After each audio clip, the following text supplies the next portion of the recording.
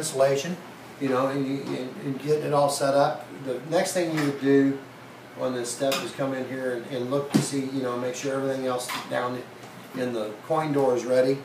Um, make sure your, your board's set up and ready, which from here it's almost always set up and ready for you.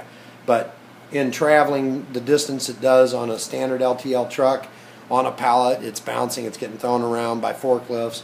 Things change, values change of potentiometers on like your, your sensor and you know your volume control and your claw strength setup.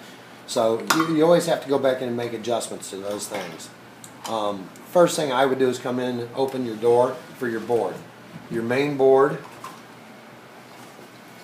your main board is on the 31 inch is on the front right hand side below you know next to your control panel and on a 27 inch or a 24 inch they're on the right hand side of the cabinet below the glass um, so let's let's say this is this is a 31 so we come in here you always get your board this is your board section you slide out the drawer um, you've got your board this is your power inlet box. This is where all the power comes in, comes from the back wall to the front switch and back down here and goes out to your power supply, up to your lights. And uh, then you got your power supply, which is right there. Um, all your connectors for all of it's right here. Little small board back here is for your, your lights that run down the two uh, down the corners, the LED lights.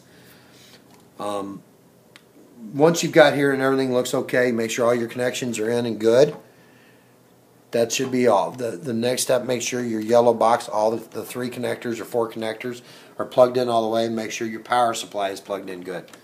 You know, so there's nothing loose. Then check this plug right here. This plug is a, is a computer style plug-in. It's got two screws in it. Sometimes in shipping, those screws back out. They're just small screws, so they, they come out pretty easily.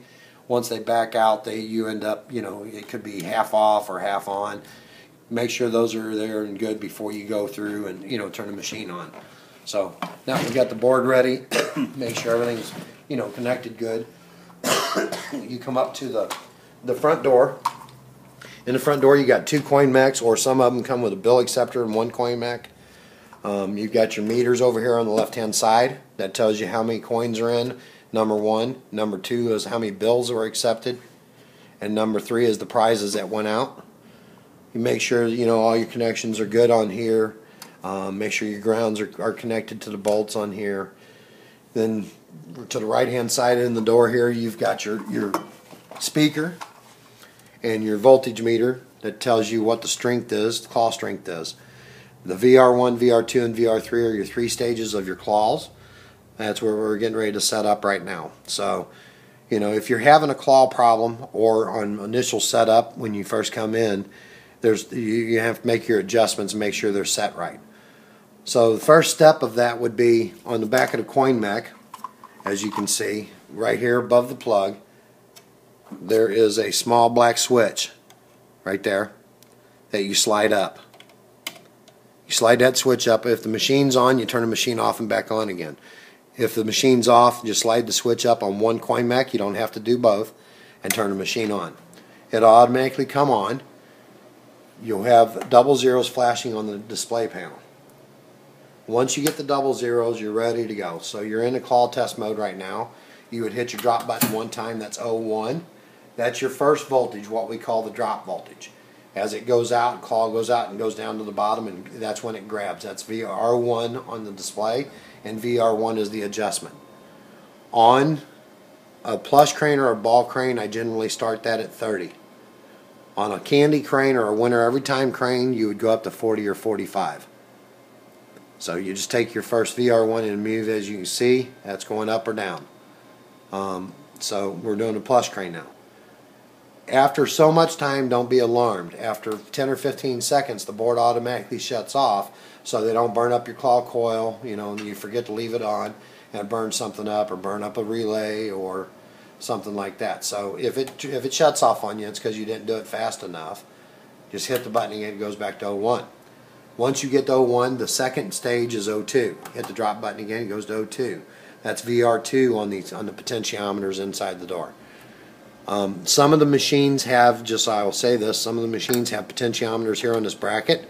Some of them have them on the main board, the original version machines.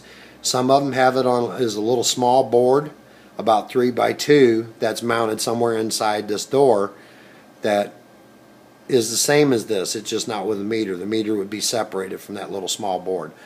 They all three do the same thing though.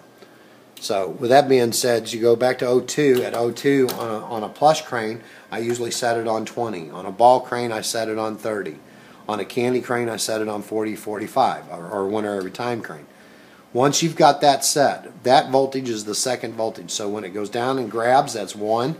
Three fourths of the way up to the top, it goes to number two. It hits the top, closes the switches, and starts home. That goes to number three. So you hit your drop button again. You're at 03. You take your VR3 and adjust it up or down. On, on a non-winner every time crane, a plush ball, I usually do about 10 or 11. On a candy crane, it doesn't matter. Don't use the third voltage anyways. Now, with that being said, all of these are changes very easily changeable because this meter is not perfectly calibrated. You know, it's it's not an extremely calibrated meter, so it could be 12 volts and sitting on 10. It could be 15 sitting on 10. It could be 8 sitting on 10. Um, you know, if you have any major problems, you need to go back on the back side of the two points on the back of it and test it with a meter and see what the voltage is. Or you can go up top, or I'm going to show you here later at the claw and see what the voltage is. That's how you set it up. Once you've got this set and ready, everything's good to go. Then all you do is turn it, take the little black switch and slide it to the down position. That turns it off. As you look up, the display goes from nines, does its countdown nine, eight, seven, six, five, four, three, two, one, zero. It resets itself and it's ready to go. That's all on claw strength adjustments.